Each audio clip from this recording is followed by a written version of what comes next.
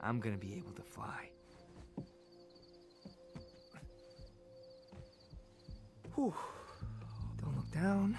Stop looking down. I'm not going down. I'm gonna fly up because I can fly. But what if I can't yet? No, no, no. Okay. Dad always said it was like a reflex. So if I don't want to fall, I won't. And even if I do, maybe it won't even hurt. Or maybe. No, screw it.